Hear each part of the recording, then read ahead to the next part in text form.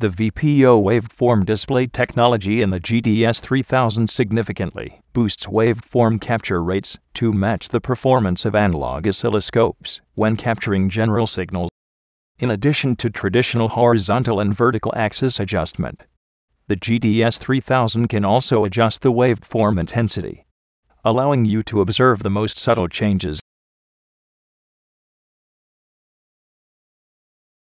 First activate any input channels connected to the surge signals. Press the AutoSet key and adjust the time division to the best scale. Press the Display button and set the waveform gray or color option on the bottom menu to color. At this point it is clear that the waveform is displayed with different colors. Red represents data that appears more often and blue represents data that appears less often.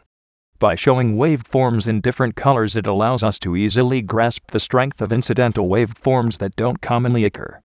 Toggle the waveform gray or color icon back to gray. Press the intensity key on the bottom menu and use the variable knob to adjust the intensity.